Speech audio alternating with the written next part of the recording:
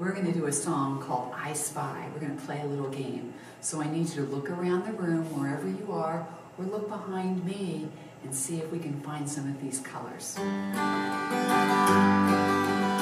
First you need to put your spy glasses on like this. Can you do that? Or even just like this. I see you. Here we go.